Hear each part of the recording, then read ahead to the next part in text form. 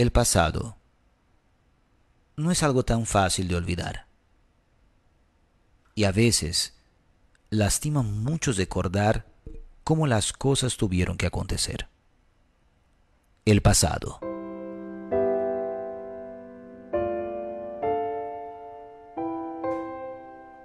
Existen cosas que nosotros no podemos explicar, pero mi pasado es algo que yo no consigo entender.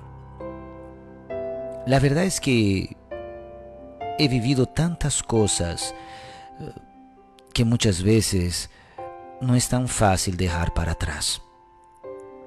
No, no lo es.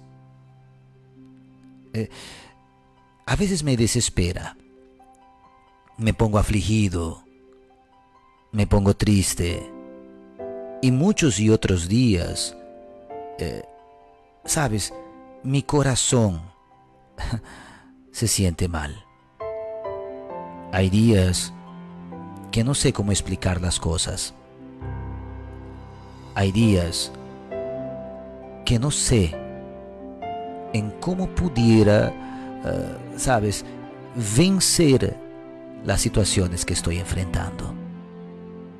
Yo no puedo. Las cosas no son tan fáciles, pero necesitamos a veces tratar de olvidarlos. Hoy día quiero desahogar contigo. Esta es mi historia. Mi nombre es Isael y gracias por leer mi historia, Pastor Moisés.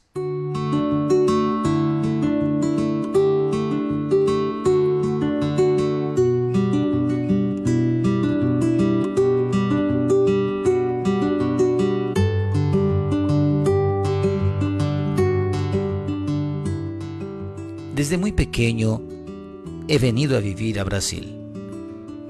Yo me acuerdo que ha debido ser en 1996. Yo era chango. Papá y mamá se mudaron para acá porque debían a mucha gente en Cochabamba. Ellos acabaron perdiendo mucho dinero. Mis papás trabajaban con ropas, tejidos y vendían en toda Cochabamba, La Paz, Santa Cruz, un día fueron estafados por alguien que les vendía uh, mercadería. Y bueno, pues fueron miles de dineros que se fueron al agua. Papá no sabía qué hacer. Mamá no sabía qué hacer. La única salida era tal vez irse de Cochabamba. Ellos no estaban bien porque de alguna forma tenían cierto miedo y no conseguían recaudar el valor que conseguían para poder pagar sus deudas. Entonces, aconteció que eh, eh, las personas que estaban tan inconformadas con la deuda que papá y mamá tenían, que comenzaron a, uh, ¿cómo puedo decirle? Comenzaron a amenazar a mi papá y a mi mamá. Yo tenía cinco años y me recuerdo todavía. En la casa comenzaron a arrojar piedras muchas piedras. Y, piedras grandes comenzaron a arrojar. ¿Sabes? Ellos estaban eh, eh, eh, molestos, pidiendo que de alguna manera le devuelvan su dinero.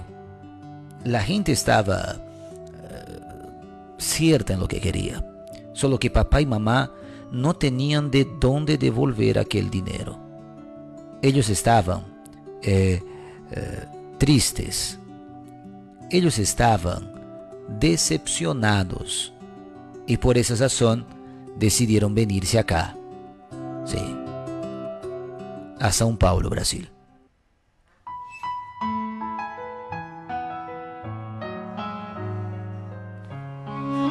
Cuando llegaron acá, papá y mamá vendieron todas sus cosas que tenían en Cocha, incluso su casa.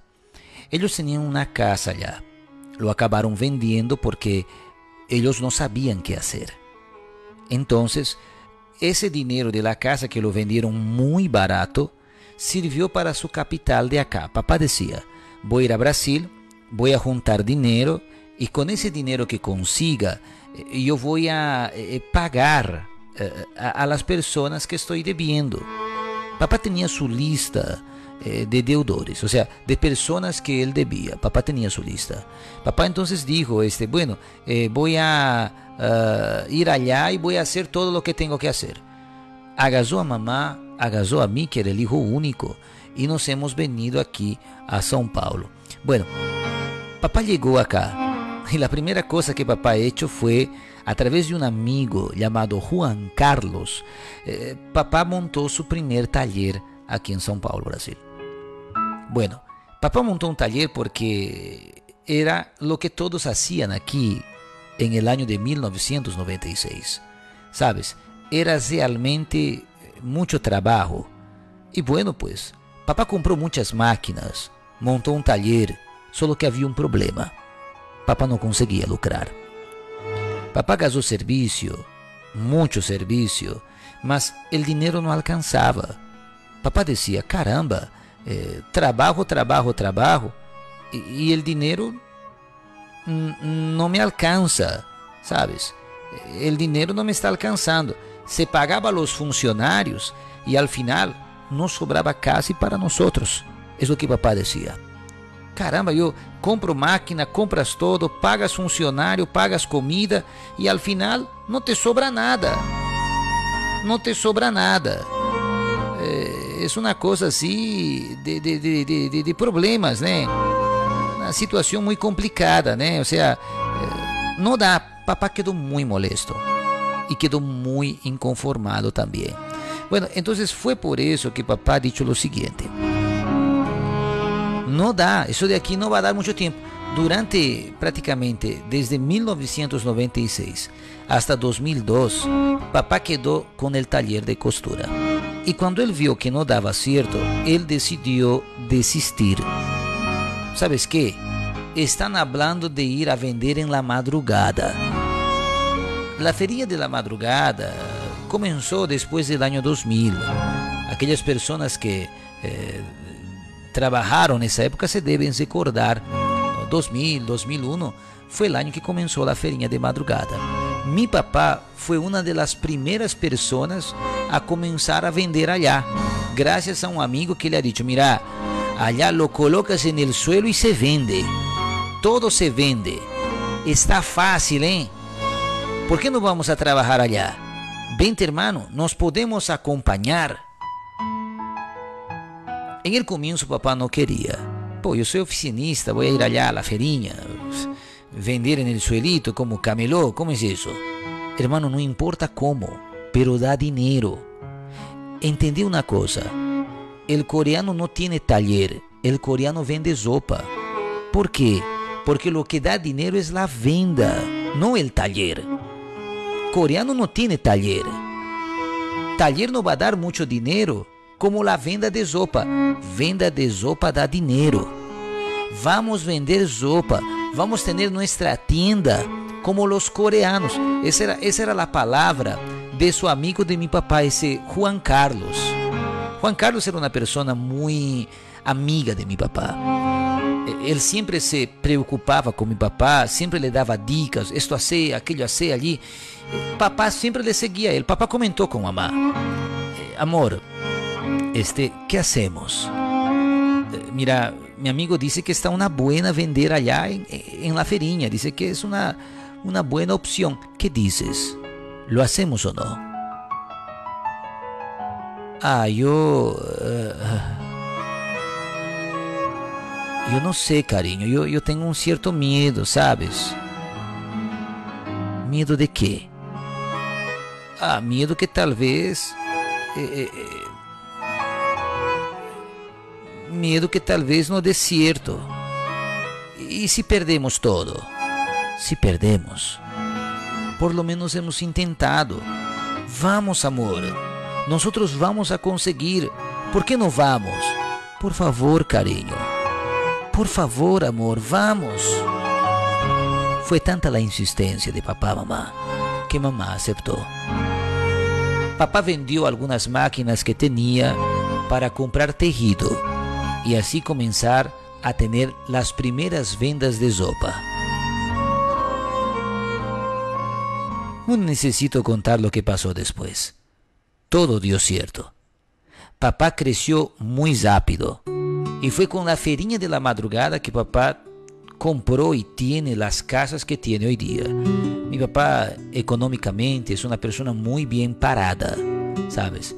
Los primeros feriñeros que supieron aprovechar eh, ganaron mucho dinero. No sé cómo será hoy día porque papá ya no trabaja más en la ferinha. Papá comenzó a trabajar en otras áreas ahora, aplicando, haciendo inversiones en otras cosas, ya con otro tipo de gente también, ya no más en la área têxtil, porque decía que era muy sacrificoso. Pero en la época fue lo que le ha dado estabilidad a mi papá. Sabes, ellos comenzaron a ganar mucho dinero, comenzaron a ganar mucha plata. Y era tanto dinero que a veces no sabíamos cómo poder administrar. Yo me acuerdo que papá, él no sabía cómo administrar su dinero. ¿Y qué vamos a hacer? ¿Y qué vamos a comprar? ¿Y mercadoría? ¿Y no sé qué cosa? Bueno, fue emocionante. La vida que teníamos ahora estaba comenzando a cambiar. Solo que ahí comenzó el deslice. Sí. Bueno, papá y mamá peleaban mucho. Cada día yo escuchaba muchos uh, problemas entre los dos. Mamá les reclamava a papá, mamá le zenía a papá, e que por que estás chegando assim, e que por que estás tomando, e por que estás indo allá, e por que estás fazendo isso, sabes? Eh, eh, mamá, não sei, mamá começou a reclamar muito com ele.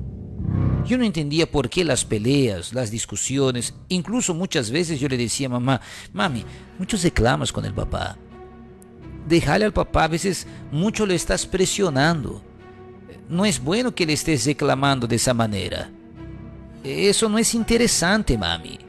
Eso no es bueno para ti. Y tampoco es bueno para el papá. Pero mamá, ella no paraba de reclamarle. Yo no entendía por qué había días que mi papá y mi mamá no se hablaban. Ya no veía, sabes, aquella unidad que ellos tenían antes. Ellos ya no eran así. Ellos ya no eran así. Papá y mamá eh, eh, eh, no se entendían. Hasta que um dia eu me di cuenta que mamá, ella estava dormindo separado, sabes? Estava dormindo separado, eh, já não queria dormir junto com o papá, e papá também começou a dormir em, em, la, em la sala, sabes?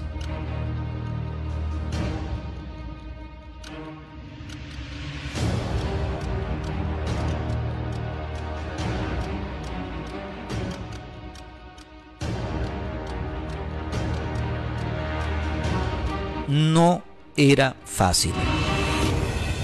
Papá comenzó a dormir aparte.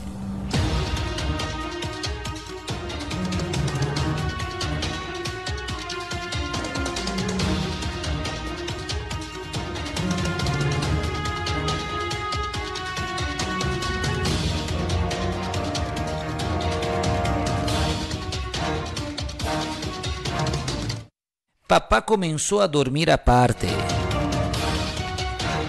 Papá comenzó a dormir, sabes, en el otro lado. Y las cosas ya no funcionaban bien.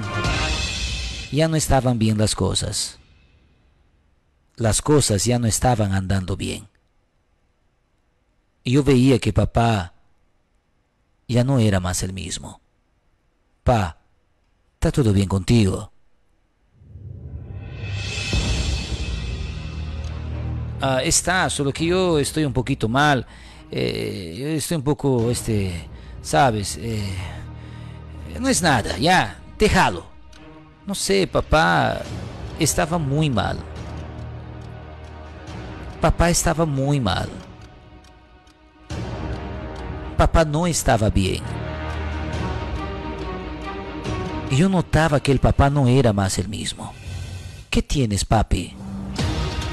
No es nada. Eh, yo no tengo nada. También este... Eh,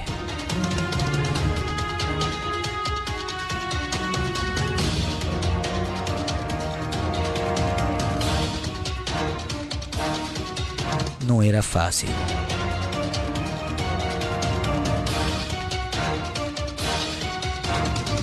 No era fácil. Hasta que el peor día de mi vida llegó. Mamá vino a hablar conmigo. ¿Puedo charlar contigo un ratito? Claro, Mai. ¿Qué aconteció? Al día siguiente, mamá cumplió lo que ha dicho.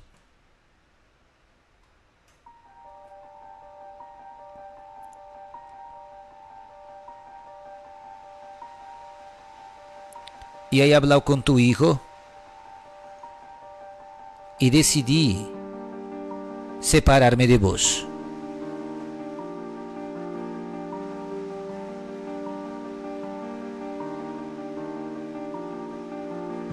¿Por qué?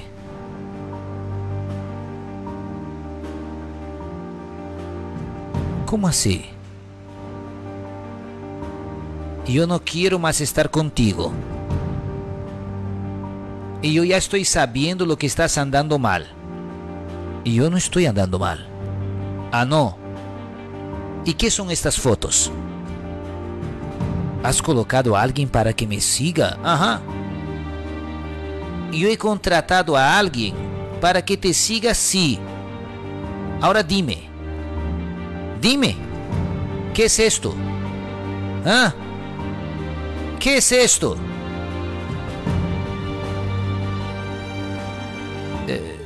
Mira, yo, yo sinceramente, este... Ah, dime.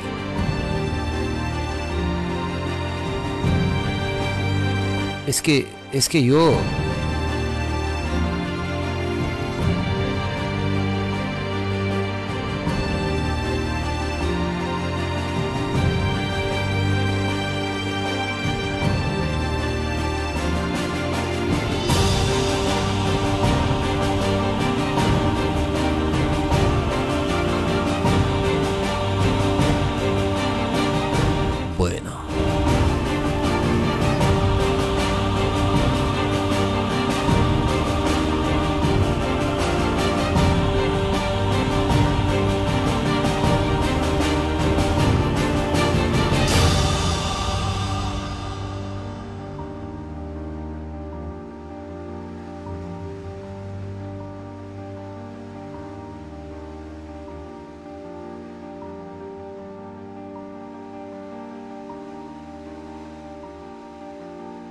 Yo no sé por qué me estás diciendo eso. Y yo no sé por qué me estás hablando todo eso. Mas yo no estoy andando mal. Y yo ya sé que estás andando mal. Y estas son las fotos. Estas son las pruebas. Y yo me quiero separar de vos. No quiero más estar contigo. Nunca más quiero estar contigo.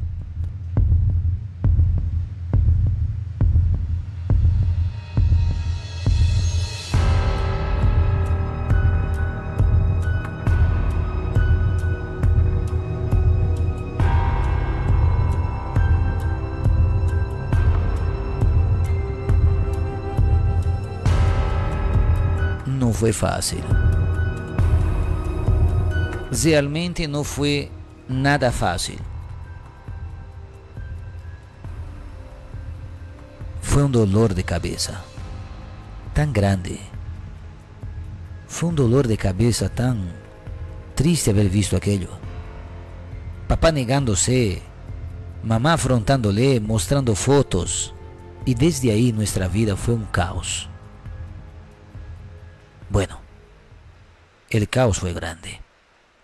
Yo me voy a quedar con esta casa y con esta casa también yo me voy a quedar.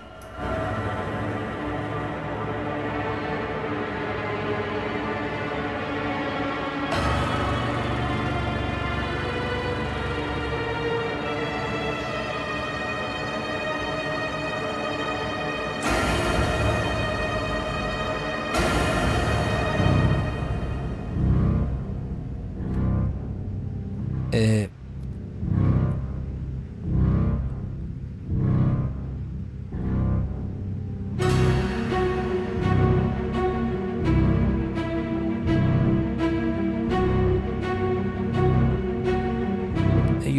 este...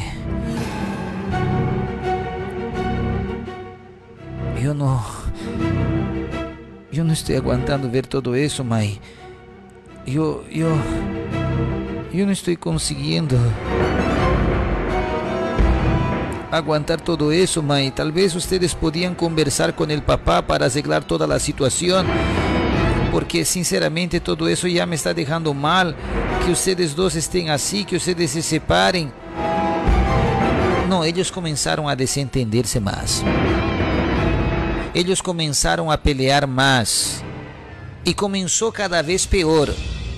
Una de las cosas que mamá, por ejemplo, ha encarado fue lo siguiente.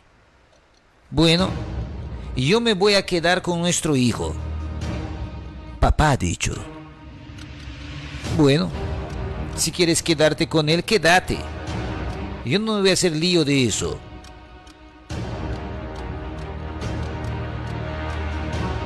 No era fácil. Las discusiones solo estaban peorando día a día. Hasta que el momento de la economía también comenzó a afectar papá comenzó a decir, mira, este, vamos a hacer así ahora, ¿ya? Vamos a trabajar aparte. Vos te vendes, yo me vendo. Nos vamos a partir los box. Así va a ser la cosa. Nuestros puestos nos vamos a partir. Yo no quiero más trabajar contigo.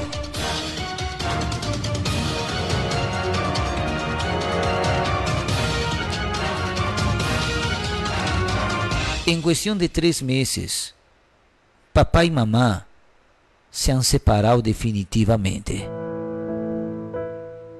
Papá se fue de la casa yo me recuerdo ese día. Él me ha abrazado y me ha dicho, yo voy a volver, hijito. No te sientas mal. Yo nunca te voy a dejar, papito.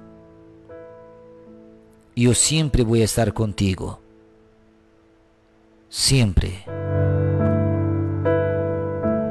Pero papi, yo, este, eh, eh, eh, yo no, yo no sé, sabes, este, eh,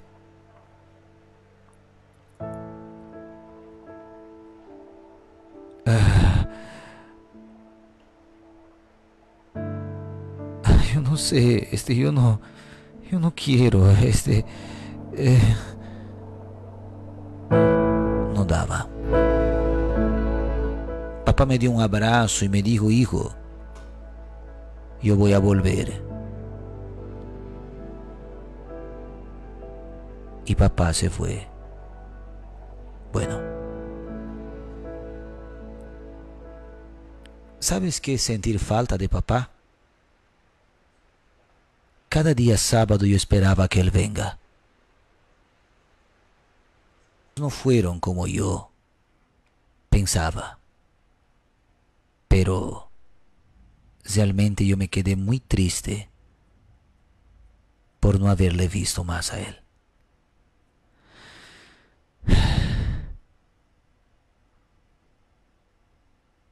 Me quedé muy triste.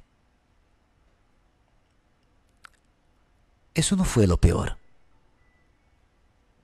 Después de aquellas dos semanas, él vino a hablar conmigo y decirme, Hijo, eh, no he podido estar, me vas a disculpar, hijo, es que, eh, sabes, he tenido mucho ajetreo, muchas cosas que hacer y pues eh, no ha dado, ya, este, me vas a disculpar, hijo.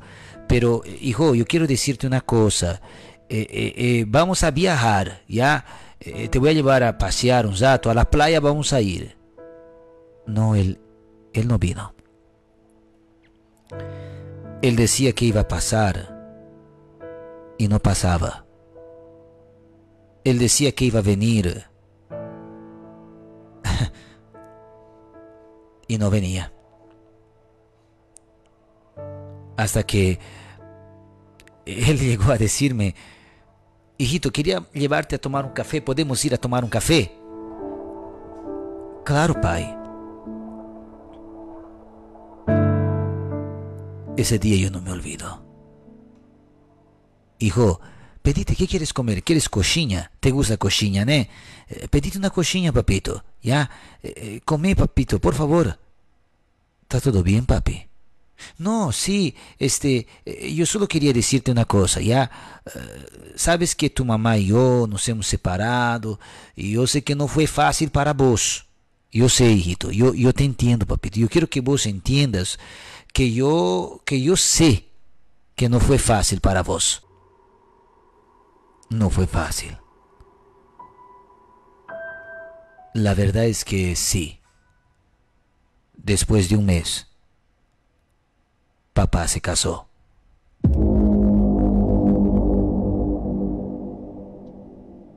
Es un dolor grande decir esto. Yo no quería que él haga eso. Mas fue lo que él ha hecho. Esta historia continúa. Mañana